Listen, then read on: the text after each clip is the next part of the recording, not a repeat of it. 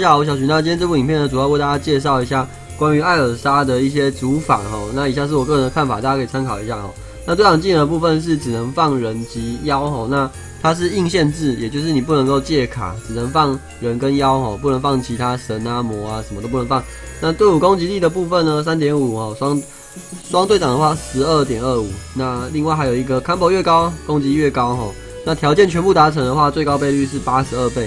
那其实很容易达成八康博的，因为它是水光星都是二消，所以基本上很容易就超过十康了。另外消除水跟光的时候，哦有五十趴机会减上四十趴。双队长的话，机遇叠加就是一百趴的机会减上四十趴。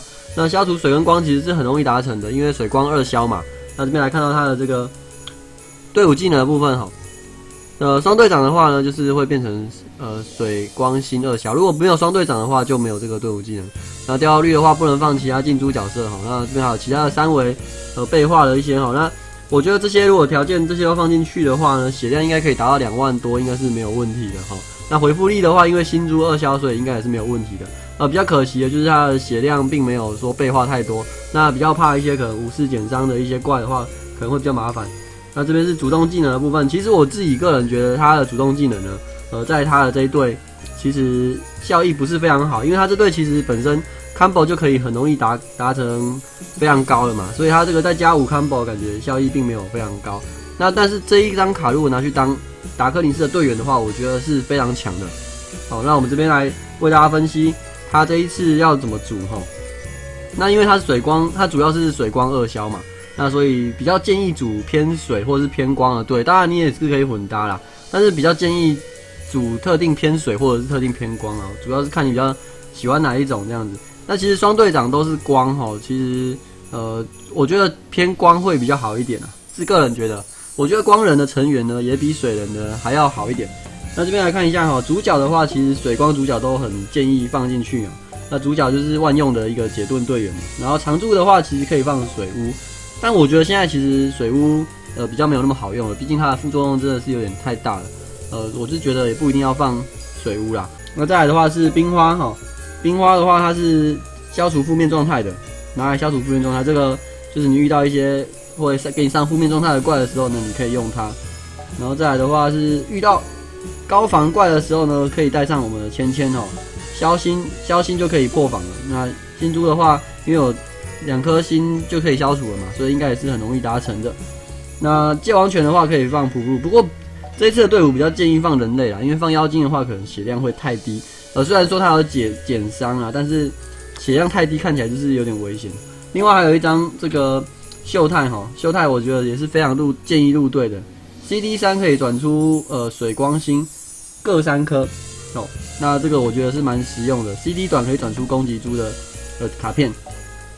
那再来，舒完针主要是用来一个大转板哦，整板都是攻击珠，水墙跟光墙，然后还有延长用符的时间。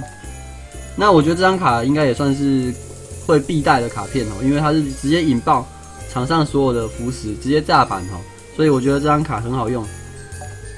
然后这张卡的话是你的这个队伍呢，主偏水的话呢，正常来说都是会放多一点人类啦，不然血量太低了哈。那因为它刚好是掉这个水人组嘛，所以对你偏主偏水的话，其实真伤还蛮高的。那最后重点是这个优助哈，优助的话你放进去的话就不能变身，因为它变身之后会变成魔主哈，那这样可能就会没有倍率了。所以你记得就是要要玩优助要放优助的话哈，就是不能变身，但是 CD 六啦，然后转这个三颗水三颗光三颗心墙这样子，然后还有一个界王权。不过我觉得如果你要放优助的话，你怎么不直接玩优助队就好了？优助队法还更强这样子哦，那再来的话是属于呃光偏光的话哈，偏光一些队员，偏光的话队员可以放魔魔师，那它主要的就是拿来排珠啊，我觉得它重要的呃最重要的功用就是拿来排珠，因为排珠卡比较少一点哦。那召唤机就是拿来解无鼠强化盾或者是锁定整版这种这种关卡，然后再来的话光北移战场嘛，战场这个不解释嘛，然后第一个技能是。呃，木转光墙，火转暗墙，那它也没有把水转掉，所以场面上算是会变得蛮多攻击珠的这样子。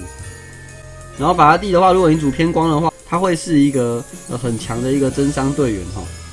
然后再来是哈勃，哈勃可以拿来打呃新猪盾，呃，因为它把水火木都转成新墙，可以拿来打新猪盾。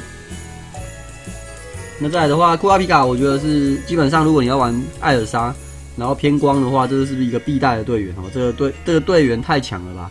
这个应该不用解释太多哦。然后如果说遇到锁技的话，你也可以开出阿皮卡，也不会被锁。然后像遇到如果你主偏光的话，你要消除负面效果的话，你可以使用仙水。仙水你只要变身的时候呢，就可以把这个消除所有附加效果，蛮好用的一个队员。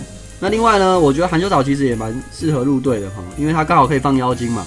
那含羞草就是有减伤有增伤，还不错，但是比较不建议放木屋哈，因为大家知道木屋开了之后就会没有减伤，但是这张艾尔莎呢，它对讲机又是有减伤的，所以这样子带木屋玩感觉呢，就是有点自自打嘴巴的感觉哈，不太建议放木屋啦。那以上呢，这就是我呃比较建议放的这个队员。介绍哈，那如果喜欢我影片的话，或者是你有什么想法的话，欢迎在下面留言。那也可以订阅我的频道，右下角帮我喜欢。那我们下部影片见，拜拜。